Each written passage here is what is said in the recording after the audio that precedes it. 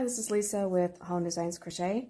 Today I'm going to just do a short demonstration for you on the rows of the Coming Up Roses Afghan. So you can see it's a very pretty texture. It's a two row repeat and I simply use different shades of pink to create this, this blanket. So it's quite pretty in multicolors or even a solid color, but it's a really pretty texture. So I'll show you how this, uh, this pattern begins. Row one, we create some foundation loops that we're working into. Um, just referring to my instructions here. So for this pattern, we start with chain three. And then we work a double crochet into the third chain from the hook. This creates our very first foundation loop large loop, okay? And then we're going to work chain five. And we're again going to work a double crochet in the third chain from the hook to create a second foundation loop. So you can see the spacing on this foundation loop row has two chains in the center between each of the large loops. And I'll just repeat that one more time as I'm creating a swatch here just for demonstration purposes. So in this pattern, you can work as many of these foundation loops as you'd like to create the width of your blanket or width or length. You can kind of decide which way you want the texture to run. So that's how we work the foundation row. And then at the end, it just says chain one and turn. And by turning, it simply means we're working back this way now. So I'll show you row two. So row two is very simple as well. It's just some shell stitches worked into the center of the foundation loops. And the shell in this pattern is the same as what you would find in many patterns. So this, this uh, shell is defined as two double crochets, chain two, and two double crochets worked back into the same space or the same loop there. So I'm going to work one shell in each of the loops, foundation loops across. So I will have a total of three shells on my swatch here. So again, two double crochets, chain two, and two double crochets.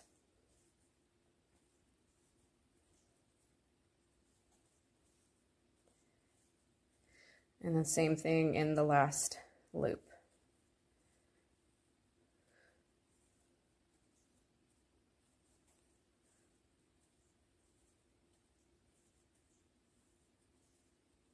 So this design is made to measure, so you can use yarn and hook of choice, make it to any size.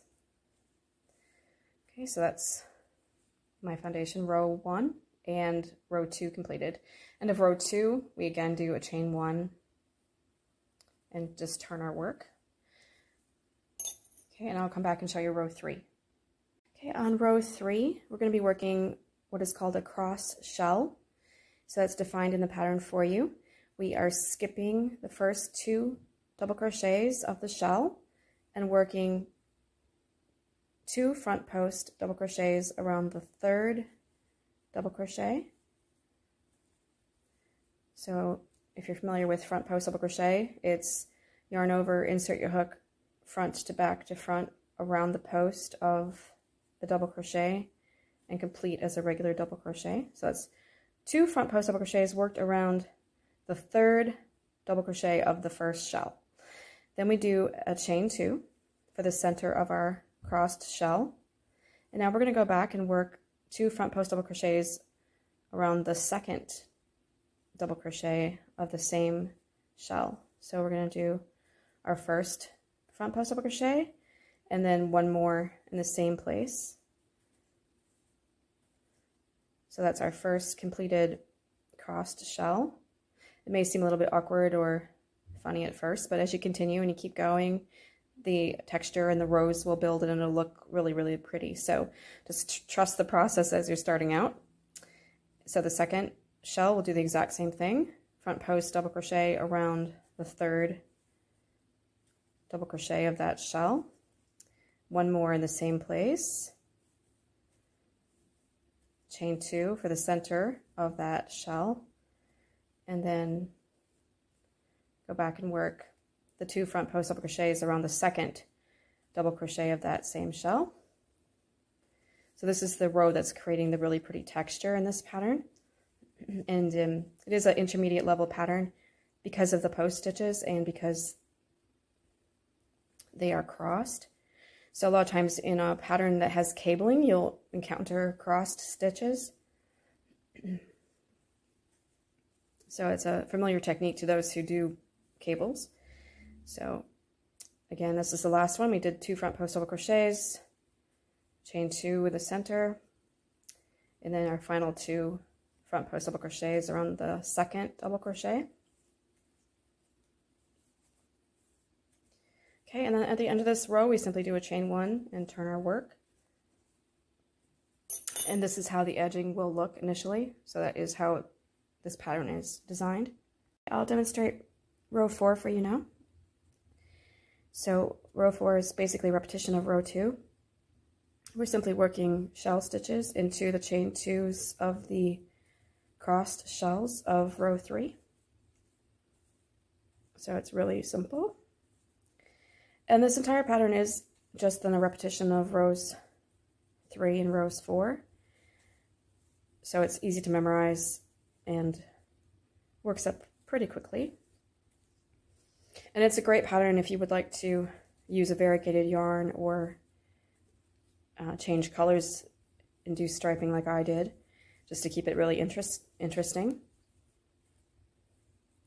So let me just finish this row of shells. You can see the pretty texture will develop actually on both sides of the pattern.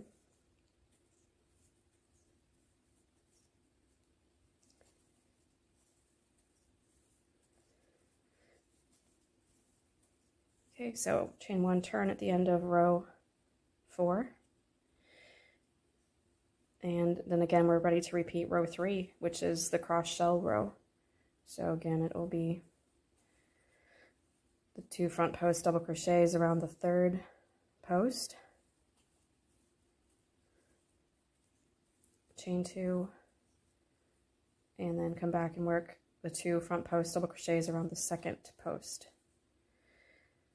So um, rows, row two, which was the shell row, um, and then row three, which is the textured crossed shells. Those two rows are what create this pattern. And you also need to always be sure to end with a repetition of row row three, which is the, the textured row. So that, that will complete the, the blanket. So you won't be ending with a shell row, you'll be ending with a cross shell row. And that is this entire pattern. So it's relatively simple and again, easy to memorize. And once you get used to working those crossed shells, it should be pretty simple to follow. So I hope this uh, video demonstration has been helpful to anyone who's maybe not as familiar with post stitches or crossed stitches or with uh, reading patterns. So it's always good to have a little bit of a video demonstration if you're requiring that. So